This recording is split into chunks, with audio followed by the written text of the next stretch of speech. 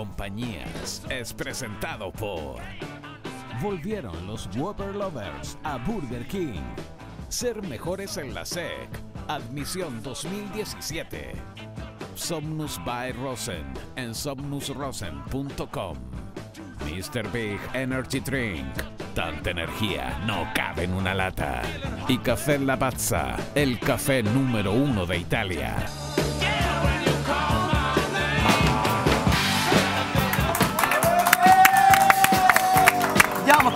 Al aire como todas las noches en Malas Compañías, señores. Tú, eh, ¿está sonando el teléfono?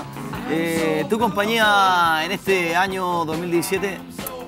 A propósito del año 2017, no vayamos a empezar a decir, como todos los años, en sus posteos malditos de Facebook, otro año de mierda. Eh, porque esto que está pasando, sobre todo en Chile, eh, no es culpa del año, ¿ah? ojo, digo, como para que no lo vayamos notando y cargándoselo al año. Vieron que todos los años al final todo el mundo se queja de lo malo que fue el año y todo. Aparte, Eh, este- Porque esto no, no lo hizo el año, en todo caso. No, no, no. eh, ustedes saben, yo leo mucho de la parte esotérica y todo el cuento. Ah, el ¿sí? año pasado fue el año del mono. Fue bastante caótico. ¿Los monos cómo son? Se saltan de un lado para otro, todo el cuento. yo Depen- persona con la depende, depende del mono.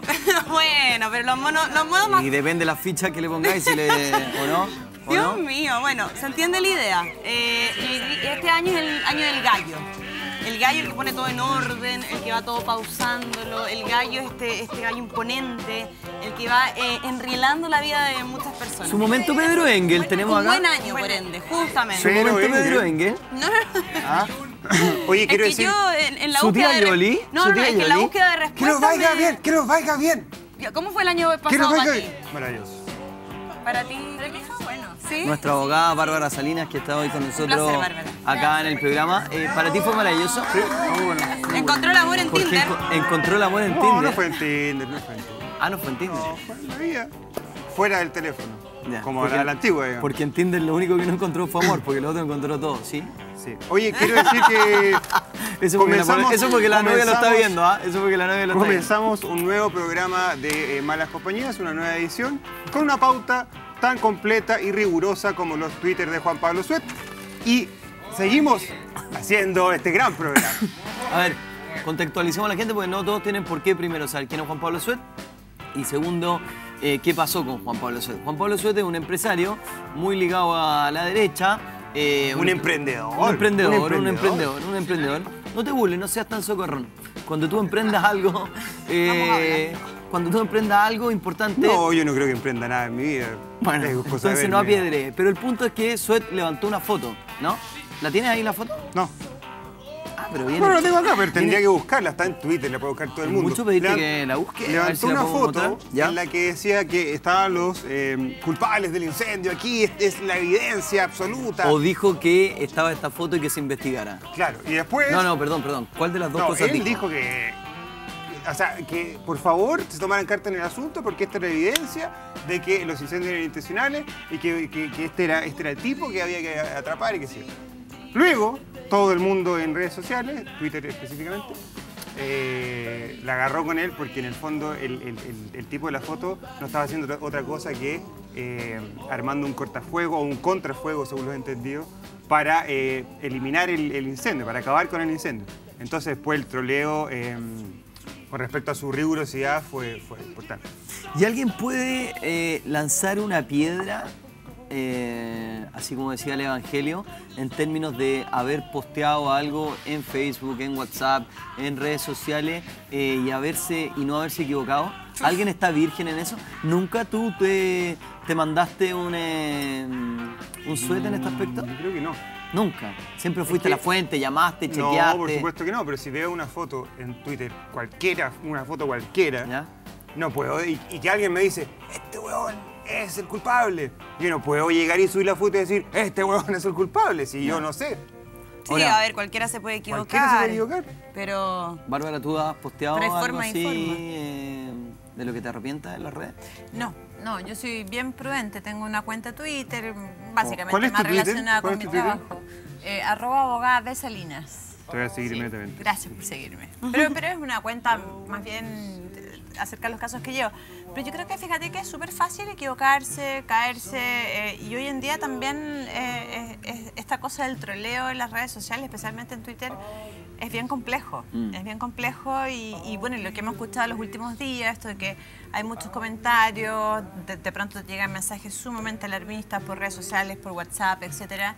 Entonces yo creo que hay que tomárselo con un poquitito de, de No, calma. eh, sí. Uno ha ido aprendiendo, incluso uno que tiene la profesión y, y se frena un poco porque, por ejemplo, ayer llega un video de los bomberos donde es que no podían pasar por un peaje, era antiguo. Llega el video de- Del centro del, acopio, ayer. del centro acopio donde estaba el logo del gobierno supuestamente instalándose a cosas que había mandado la gente que no le había entregado el gobierno Falso. y era del terremoto, no era falso, era O del sea, terremoto. antiguo, es verdad. Eh, entonces que hay que tener mucho ojo ahora, cuando hay cosas que son evidentemente o objetivamente ya hechos, eh, ahí no hay problema. Ahora, no creo que nadie esté libre de, de repente por el ímpetu o por las ganas de que esto se esclarezca o por las ganas de eh, decir finalmente su rabia, su impotencia frente a lo que está pasando, no se equivoque.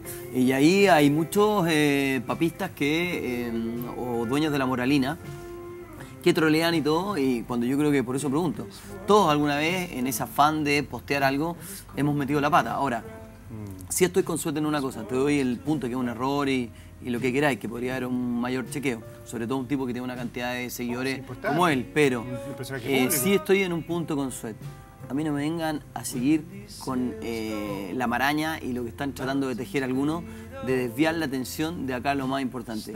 Estos incendios son intencionales sí o sí. Yo no tengo ninguna duda frente a eso y solamente eh, ni siquiera tengo confianza y en esto te, les voy súper directo y me gustaría escuchar también a la abogada, ni siquiera tengo confianza en que las cosas se aclarezcan porque lamentablemente con, una justicia garantista como la que tenemos y con una justicia manejada políticamente es muy difícil que podamos tener realmente eh, algo que cada vez es más difícil alcanzar, que es simplemente la verdad de los hechos.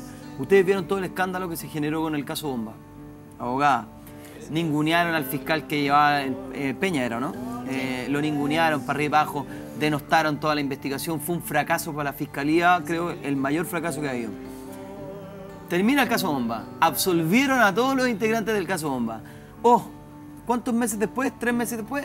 Detenidos los mismos, una pareja que había sido inculpado, procesado, formalizado, todos los, eh, todos los pasos que tenían que seguir judicialmente, que finalmente los habían absuel- absuelto, eh, sorprendió en España exactamente por el mismo delito. A diferencia de acá, los tipos están en cana en España. Acá no. Entonces yo acá, eh, y creo que es el sentir de mucha gente, lo que más le tengo miedo es a que la verdad se vaya, como se han ido miles y miles de hectáreas, eh, al más allá. Pero es lo más probable. Bueno, es lamentable, pues, Y si no, y si no sucede eso, van a culpar a los primeros tres campesinos que encuentren con cara de sospechoso y se acabó el cuento. Todos ¿Cuán- nos olvidamos. Tenemos ya formalizado, abogado, ¿no? Sí, este caso. dicen que la información es bastante confusa en realidad porque son distintas zonas, las investigaciones eh, se están siguiendo de manera eh, por cada región, digamos. O sea, hoy día el, el fiscal nacional ya dijo que no iba a, a designar un solo fiscal para que investigara todos estos, estos incendios eh, desde la cuarta región, ¿verdad? Hasta la, hasta la región, entiendo que hasta la octava región, incluso la región del Biobío. Entonces eh, hay diversa información, pero por lo menos hay 10 detenidos, algunos formalizados ya, varias querellas presentadas, pero son querellas presentadas por las autoridades, por intendentes. La famosa querella el contra quien resulte responsable, presentada por el alcalde o el intendente, que sabemos que también se va como...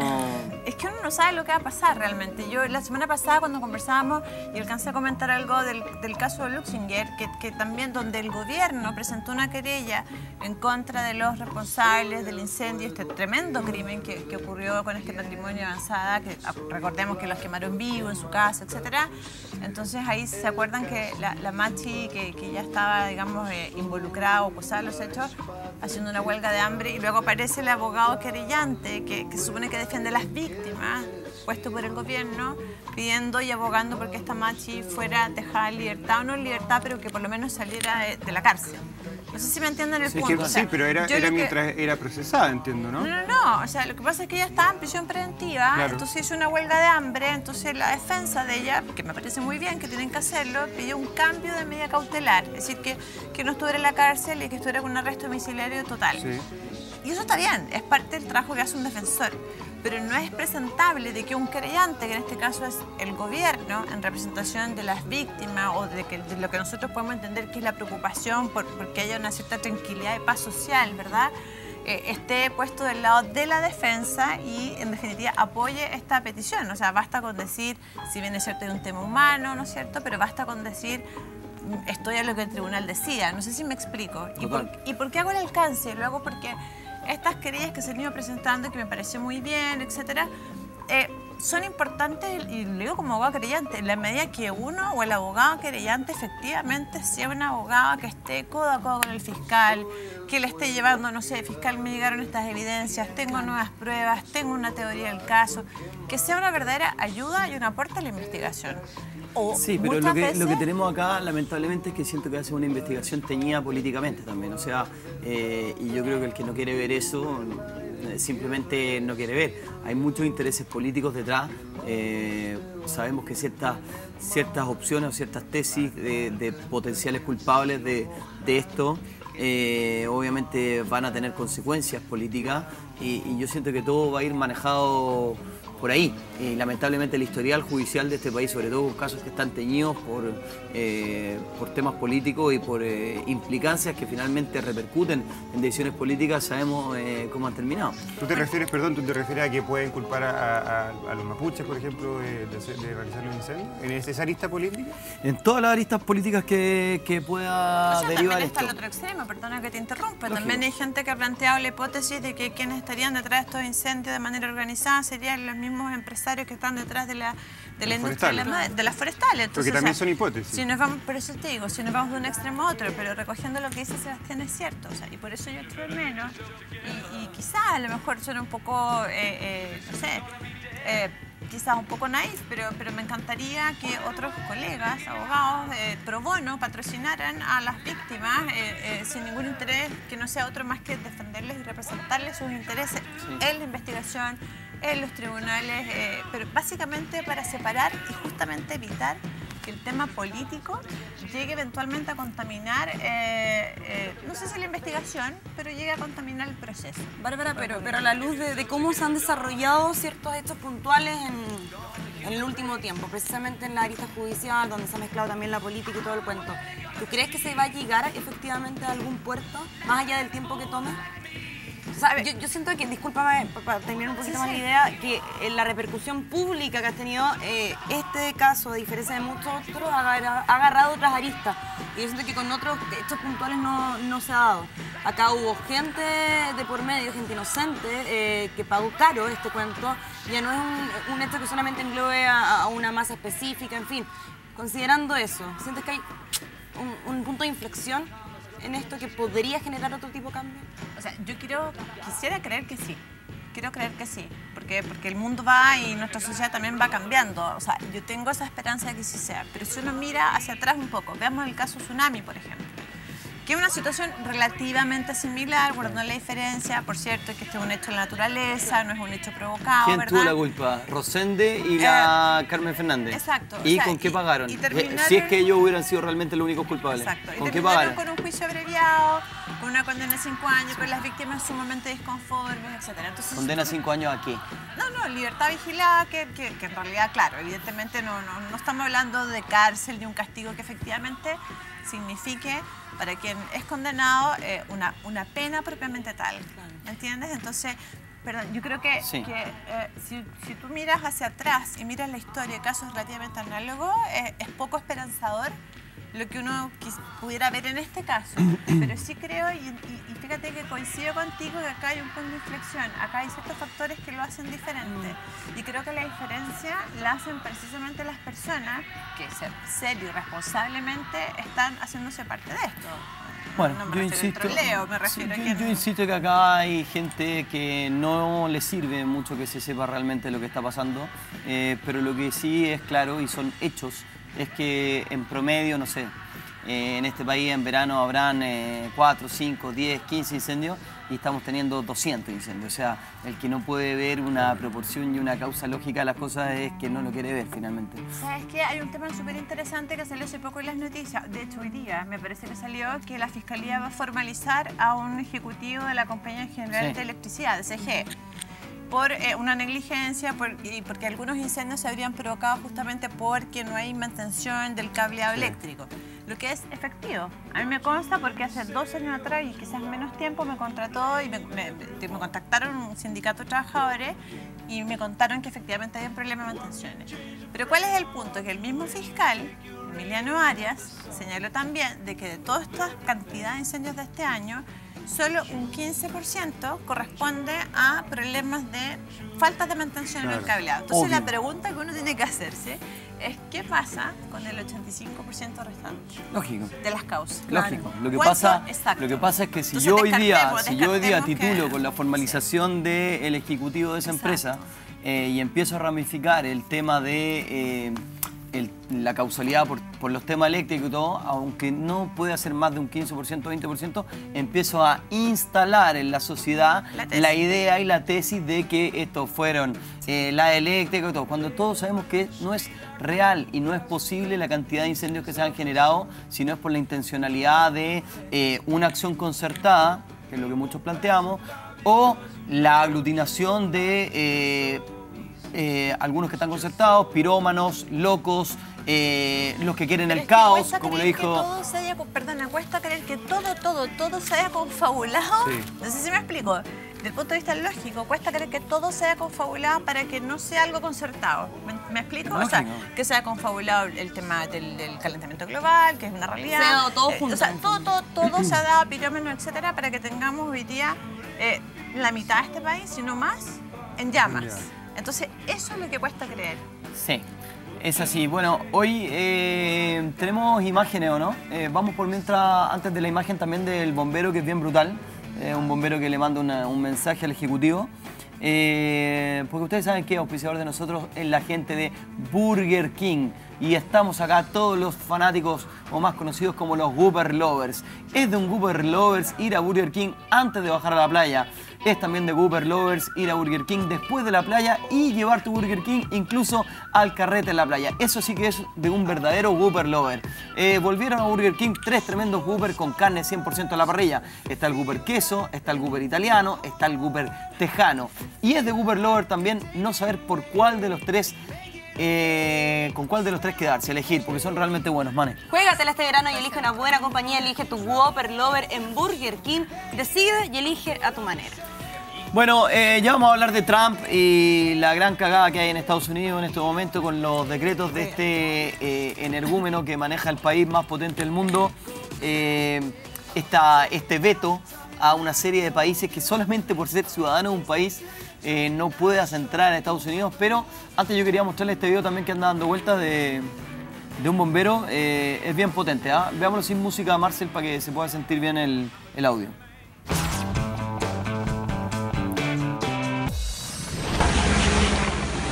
Hasta que quedó la cagada, no, señora presidenta. Es lo que usted quería, que el pueblo sufra. Así que llegamos ahora, mire cómo estamos. Mire cómo está Sausal. Somos capaces de controlar, es que se metió el fuego al pueblo. Gracias, señora presidenta. Voy a tratar de hacer viral este, este video a su mala gestión. Su mala gestión. ¿Cómo cresta? Yo no sé qué escucha piensa por la cresta madre, discúlpeme. Pero, señora Presidenta, esto le va a costar caro. La comunidad no la va a respaldar nunca más. Señora Presidenta, mire cómo está. Culpa suya, miren las condiciones que está el pueblo. Por su ineficiencia suya y de su personal. Bueno, ya, ya es un viral el video. eh, mientras está apagando el incendio, le, le va, le va tirando letra a, la presidenta y a la ineptitud de la gestión que la hemos visto en todos lados. ¿ah? Pueblos enteros que hoy vemos eh, ya una flota casi de aviones en, eh, en, en Chile. Hoy llegó otro avión más. El Toño. eh, el Toño. no, se llama, no se llama Toño, pero por supuesto, como ya es un clásico casi ponerle nombre a todos los huracanes, hay que ponerle al avión. ¿Cómo, cuál es? ¿Desmond? ¿Cómo se llama el, el- el Toño, eh, Marcel? Antoniov, Antonov, An- Antonov Anton- B54, Es el que así. tiene los helicópteros, Sí. ¿no? Sí, ya llegó, eh, tenemos imágenes, no sé si las podemos ver de, de su llegada anoche, ¿no? Ahí está. Clarísimo. Sí. Mu- Muy, Mira, claro, ¿ah? lo fuimos a recibir El problema es que no te... Fueron con la cámara del celular. Ahí está clarísimo. con la cámara del gobierno, ah, no se ve nada. No, mira, saca el GC, Un saca el desastre, GC. un desastre. Ya que estamos, ya que Oye, estamos, ya que estamos en este horario, podríamos decir, mira, esos son Otro Salvador, ¿ah? Otro Salvador. esos son eh, luces que se vieron en el sector de Wisconsin y que conte- co- eh, co- correspondería a avistamientos extraterrestres. No se ve un carajo. ¿qué es esto? Sí, no se ve nada, pero bueno, llega, llega más. Oye, yo eh, veo ahí, perfecto. ahí está, ¿viste? Apareció y ahí se ve bien. Pero ese no tuvo problemas. en Es el Toño. ¿eh? No, Ese no tuvo problemas, no hubo que firmar 17 formularios. nada. No, claro, Ese porque no. ya, ya, ya la cagada ya la habíamos dejado, como siempre, tan chileno Oye. todo. Ahí está. Eh, ahí hay una comparación entre eh, el Toño, que es el de arriba. Es un avión normal, el- el- los de abajo, digamos, y arriba está el Antonov. Claro, es como el negro WhatsApp de, de los aviones, es verdad, es cierto. Claro, mira, esa imagen, podríamos, saca el GC de nuevo, por favor. Podríamos hacer un símil con estando en baño, en un urinario, y está en Mr. Big. Mr. Big, muy bien, Diego. Muy bien, Diego, apoyando al auspiciador con una bajada de línea sorprendente. Toño, ¿qué sería para ti, Diego? Mr. Big, po. Solamente Mr. Big. Oye, Sí. eh, oye eh, Carlos Cardoen eh, también habló fuerte. Eh, dijo cosas, quiero que, lo- que la- las plantees tú, eh, pero Un son unas bombas. un hombre de armas tomar. Sí, un Ah, hombre de armas de tomar. eh, tiró, tiró varias bombas Cardoen hoy. Que hay que decirlo, sí, ah, eh, lo vuelvo a decir, eh, más allá de su pasado oscurísimo. Es un tipo que por la zona de Santa Cruz ha hecho muchísimo. Bueno, en realidad no tiene muchos lados más donde ir, pero hay que reconocerle eso. Sí, no puede, no puede viajar mucho. No puede viajar, no, no puede viajar a ningún lado, si no lo agarra Sí. Interpol inmediatamente. La verdad es que sí, él, él lo que hizo fue directamente colocar en manos de la Fiscalía, el Ministerio Público los antecedentes y básicamente es información, eh, digamos, eh, son videos y información gráfica que tiene de la zona y que él mismo comenta que, que pilotando su helicóptero que dice que hace 40 años que hace exactamente lo mismo y que conoce muy bien la zona. Eso es cierto. Lo que el es helicóptero efectivo. lo debe haber mejorado, pero es Exacto. verdad que pilotea hace mucho tiempo. Lo importante es lo siguiente, que es un tema de responsabilidad. Aquí nosotros hemos escuchado a toda clase de autoridades, incluyendo fiscal nacional, máxima autoridades diciendo seamos responsables, el que tiene algún antecedente, por favor, hágalo llegar a las autoridades. Y esto es lo que hizo el señor Cardoen. O sea, tomó sus pruebas, sus filmaciones y Él las dice que a tiene la pruebas eh, irrefutables sobre que los incendios son intencionales. Sí. ¿Qué cosas Es tiene? que, es que tiene estas filmaciones y él señala y muestra y, expli- y- y explica que si bien no se alcanza a distinguir personas por la altura, por la toma en que se hace, dice que eh, la distancia que hay entre los focos eh, de incendio, digamos, para entender que hay unos focos nuevos, que hay nuevos incendios intencionales, están a una distancia, entiendo que unos 6, kilómetros cada uno, uno de otro. Es decir, en otras palabras, y contra, eh, la, digamos, el viento. No sé si me explico. Es Sí. decir, es imposible de que en el fondo estos nuevos focos hayan sido generados por la acción del viento y que sea una cuestión casi como natural o el efecto dominó de los, de los focos de incendio que ya existían. Por lo tanto, es una prueba, en su opinión, irrefutable de que son eh, deliber- deliberados, intencionalmente provocados por cierto. No, no se refiere a quiénes, pero sí, evidentemente, está detrás la mano del hombre, eh, en este- mi opinión, digamos, absolutamente desquiciada, porque el daño que se ha generado y que lo hemos visto todo durante toda esta semana. en Bueno, que no, es solamente, tremendo. además de los que están haciendo los incendios, eh, esto es como apa- apareció esto y saltaron todos los loquitos que andan en el, andan en el ruedo. Y, y los loquitos cuando ven la fiesta quieren entrar a la fiesta. Vieron este, este tipo que se hizo pasar por militar eh, y empezaba a dar órdenes en Yico y tomaba decisiones y todo, y de repente eh, de una manera muy violenta, no sé si vieron la noticia, y de repente la gente como que se empezó a extrañar, no le empezaron a calzar algunas cosas y le piden, el alcalde de, de Bichuquén creo, le pide su identificación como, como integrante del ejército de Chile y el tipo no tenía absolutamente nada, se lo llevaron en cana. Eh, bueno, tipos también, eh, hay un tipo de la CONAF que también está en este minuto Sí, sí, inculpado claro, que por fue detenido, inculpado por haber generado él mismo un incendio. Bueno, para qué hablar de un. ¿Se acuerdan hace un par de años cuando fue el terremoto? Un viejo que salió en las noticias, que todo el mundo le dio una pena atroz, que se le había destruido la casa y todo, que se había quedado sin nada, creo que le regalaba una casa. Y era mentira, nunca, nunca había tenido ni una casa, ni había estado ahí, ni nada. Entonces, aparecen muchos actores, aparecen muchos loquitos. Los oportunistas que se dice. eh, pues, Hay- también eh, me cuelgo un poco de eso, Sebastián, para decir que también aparecen los oportunistas que hacen campaña presidencial. sí. Sí. Bueno, Además. ese es otro tema interesante. Mira, Sí. yo creo que el resumen de esto es, este tipo de situaciones, desastres, aquí ya no solamente en la naturaleza, aquí evidentemente en negligencia, cooperación del hombre, etcétera, sacan lo mejor y lo peor de la gente. Total. Y Absolutamente. eso lo vimos en el terremoto, lo estamos viendo hoy día, sacan lo, lo peor y lo mejor de la gente. Sí, yo Ahora, yo, estoy, hacer yo una estoy en, to- reflexión. en total eh, desacuerdo en un punto, eso sí, contigo. ¿ah? Creo que. ¿Por qué, conmigo? Sí, porque creo que, que tú lo decís por Piñera y, y yo te digo que. No, no solo con él, pero...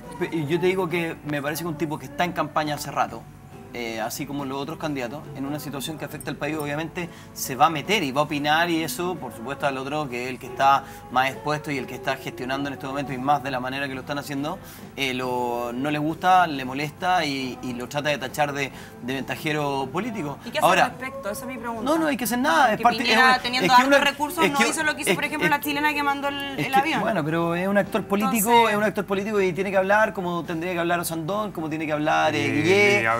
Y habló, ¿Y y, qué mejor? habló Sandón, y habló, y habló José Antonio Cast. Y ya no- y- Está no bien. quiso hablar. ¿Y te parece, y te parece que no es lógico? Me parece que tipos saca una ventaja política asquerosa. Pero, pero, a ver, pero, pero si ellos están, ellos están planteando, espérate, y esto es no tomar partido por ninguno de ellos, porque no. Pero si los tipos están planteando que su gestión va a ser mejor Exacto. que la que está actualmente, y viene una catástrofe además inducida que demuestra la falta de gestión, ¿cómo no van a salir a decir eh, si ellos Pero quieren ¿cuál es el lugar? sentido común? No, Sebastián? decir, decir, oye, yo lo haría mejor, que no No, sabemos. no han dicho eso, Diego. No han han dicho, dicho eso. José Antonio Cast. José Bueno, Antonio pero Cast. de candidatos serios. Pero por favor, José Antonio Cast, serios. representante de la UDI, dijo, necesitamos un presidente como la gente. Voten por mí, José Antonio Cast. ¿Eso no es campaña política?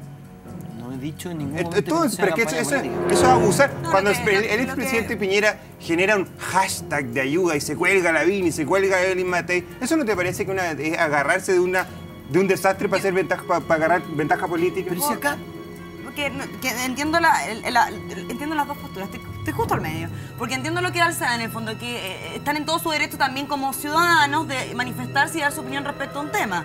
Pero también comparto tu, tu posición. Yo creo que... no son ciudadanos. Bueno, son pero- candidatos, pero- son pero son candidatos. personas que son tienen la políticos. opor- Ah, son políticos. Pero con mayor razón, como políticos debieran apoyar Pero- lo que a lo si que, lo están, que está están sucediendo. tratando, No. están tratando de apoyar igual. A ver, acá cada uno está tratando de sacar, de sacar su tajada de la torta. Entonces, ¿No han empezado todavía las evaluaciones o ya empezaron en ciertos medios más faranduleros de quiénes fueron los rostros mejor evaluados tras la tragedia? Y el tipo no pone la carita de, de drama y todo de una manera un poco más porque le suben los bonos en ¿Y el eso cuento. está bien? ¿Ah? ¿Eso está bien? Pero es parte del circo, Pero- weón. pero ¿cómo? Pero no es parte del circo. Es parte del circo, Diego. Pero Diego, Acá. mira, no sería distinto, pero, pero acá tampoco no es aprovechamiento político escuchar eh, eh, discursos como hacer el llamado a la unidad, por ejemplo, cuando hay cero autocrítica. Obvio. O sea, yo eso yo también es un yo tampoco estoy- Obvio, político. obvio. ¿Te Yo? Yo no estoy defendiendo a nadie No, no, no, estoy- yo estoy- me- también me parece Es que ¿sabes lo que político. pasa? Que yo comparto el punto con Sebastián. Yo creo que eh, si estamos hablando de políticos y de candidatos, es precisamente en esta situación en la que uno, la gente quisiera y debiera escuchar cuál es su planteamiento, cuál es su postura, porque el día de mañana ese candidato a senador, a diputado, a presidente, o lo que sea, es el que, si resulta electo, Toda, aquí pero va a aparece, gobernar. aquí aparece Yo no sé si el toda- año de elecciones toda- sería lo mismo. Aquí todos quieren sacar su tajada de esta cagada. Incluso marcas que ahora no Bueno, lo por trolean. Eh, acuérdate que lo que fue una famosa campaña de una marca por una red social cuando no sé si hubo un terremoto o un incendio en Valparaíso, no, no sé qué es lo que fue, porque ya en este país que parece un- una inundación permanente de cagada y de tragedia, es, es- es permanente. Pero acá el tema más importante para mí, el circo ya lo conocemos, sabemos quiénes son los payasos, sabemos quién está a cargo de la jaula del león, sabemos quién es el trapecista, sabemos quién es cada uno de los actores de este circo. Perfecto. Lo Pero que yo te digo es no que lo más importante en este momento, para mí, lo más importante es exigirle al dueño del circo, que en este minuto es el gobierno porque es el que tiene el control del circo, que haga lo que tiene que hacer.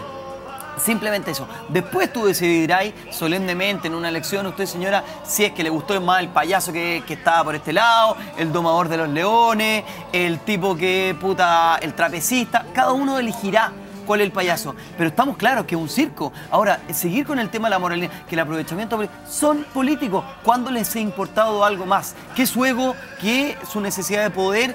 Eh, y su necesidad de figurar. Bueno, ¿Cuándo pero más? por- por- yo estoy de acuerdo contigo, pero no es, no es justificable. No es justificable. No, porque no he hecho nada al respecto. Seba, ¿qué- qué- dime uno que haya hecho algo al respecto. No, es muy grande la pregunta para respondértela en un segundo, menos Pero con que yo un te puedo auspiciador decir ahí así- metiendo. ¿Quién? pero- No, te puedo decir así, que una chilena que viene al extranjero tomó rienda en el asunto. Bueno, pero y se lo hemos agradecido no está infinitamente. bien, po, pero eso voy y yo. estaba- Qué mejor manera de demostrar las cosas más allá de hablar que ejecutar. Y ellos tienen mucho más poder desde arriba que Sí, nosotros porque- para haber hecho algo al respecto y no se hizo. Porque también en este circo y en esta miseria humana Podrían sacar hemos aprovechamiento con acciones. ha habido mucha gente buena, mucha gente buena, mucha gente desinteresada, gente mucha gente buena, linda que que ha viajado, no mucha gente de buenos gestos como tú. Pero mucha no- gente de buenos gestos que fue como tú, a ayudar, a- por supuesto que hay un lado positivo, ¿me entendió, no? Pero nosotros estamos hablando finalmente en este minuto de la gente que toma decisiones. Y cuando está la cagada hay que hablar de la gente que toma decisiones. No del tipo que no toma las decisiones. A esa gente hay que aplaudirla, hay que agradecerla y ojalá mostrarla. Y aparecen en todas las aristas. Piensa tú que hasta la prensa tiene todo ya armado. ¿Ya encontraron al nuevo Zafrada o no? El niñito que encontraron ayer. ¿Cómo se llama el niñito? Qué exquisito, un niñito de que está en la carretera con una bandera chilena y que lo Ah, entrevistan sí, y el niño, no, el niño habla de corrido y es exquisito el pendejo. Increíble. Eh, creo que se llama Benjamín, creo, no sé. No es Benjamín Vicuña. ¿Benjamín? Pero ya encontraron al nuevo Zafrada. Eh, Compadre, los medios en su rol, los rostros van a su lado, el otro pone...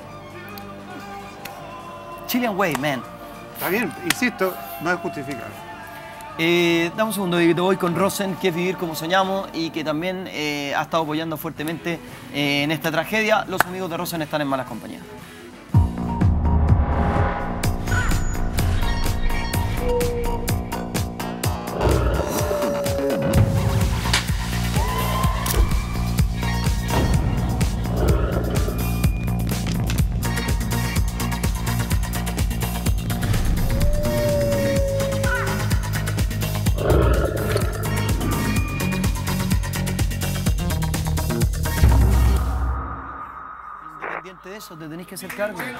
Bien, Rosel. Habla con un abogado, te tenés que hacer cargo, weón. Por supuesto. Weón no sabe. Bueno, eh, hacemos mala compañía. eh, no todo es discusión, no todo es aridez, no todo es esta tragedia. Estamos con nuestra abogada panelista, con Mane Grant, eh, con Dieguito y con Gracia Instagram, que nos manda cosas muy interesantes toda la noche. Mira, la llegada de Roger a Suiza. ¿Por qué viene con la doctora Cordero? Es su, se- es su señora, No, mentira. ¿no? ¿Cómo va a ser la señora? Si Debe ser la mamá. Debe ser la madre. Debe ser la mamá, puede ser. Ahí está, mira el bolso, después del aeropuerto, el Mira. bolso, qué rico, qué linda foto, ¿ah? La copa. Oye, échame ahí, el- ahí yo la Copa del Abierto de Australia, qué locura. Qué locura. Igual yo la habría protegido, porque... mm, pero bueno, esta imagen ¿Qué la es quise esto? subir también, que son víctimas de esta, de esta Pobre tragedia, los caballo. pobres animales. Vean ese pobre caballito quemado. Está más vendado que fatalito el pobre. Pobre caballo. Pobrecito. Víctimas también de, de esta gran tragedia. Señores, estás viendo malas compañías. Vamos al corte. Todas las noches a las once y media por acá, por video.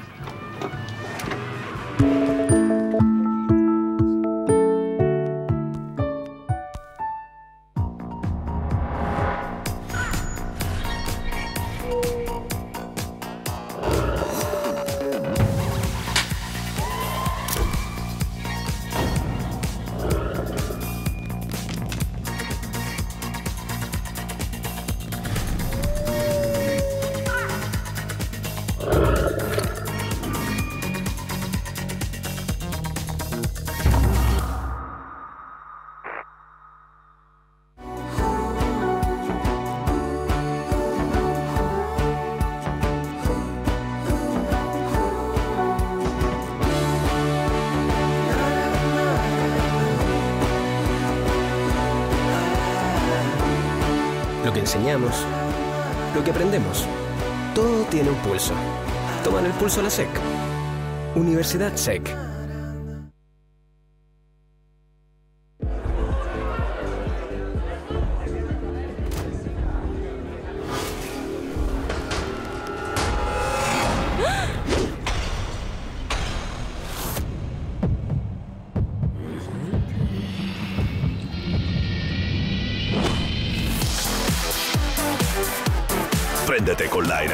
Mr. Big, porque el tamaño sí importa. Mr. Big Energy Drink.